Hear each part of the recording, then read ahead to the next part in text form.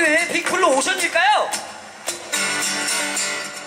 잘 모르시겠죠? 어, 별일 없습니다. 지금부터 어, 파도타기 한번 가도록 하겠습니다. 오케이. 어, 지금 보니까 어머님 안녕하세요. 저, 아, 네, 도망가지 마세요. 어머님, 잠깐만요, 어머님. 어머님, 안 돼요. 어머님이 도망가시면 여기 있는 사람들이 다 도망갈 겁니다. 오케이 어, 부담하지 마시고요. 그냥 제가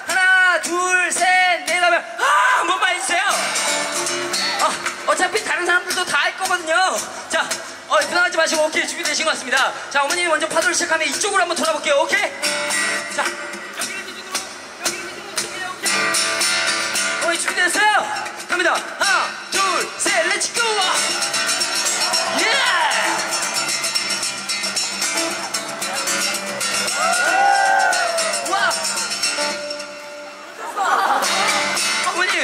아 저는 여기 있는 분들 표정이 다들 너무 좋거든요. 어머님도 마찬가지로 다들 이런 표정을 하고 있습니다. 어 그래 저는 한 세 바퀴는 돌 줄 아는데 어머님 이번에 세 바퀴 한번 돌아도 괜찮으시겠어요? 오케이. 자 그럼 이번에 깔끔하게 세 바퀴 한번 가보겠습니다. 하나, 둘, 셋, let's go!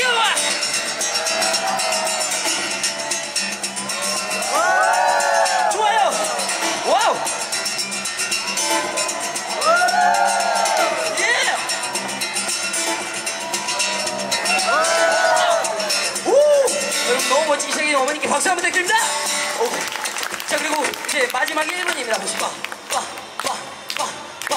홍대잖아요. 박수만 아시죠? 마지막 1분 소리 질러!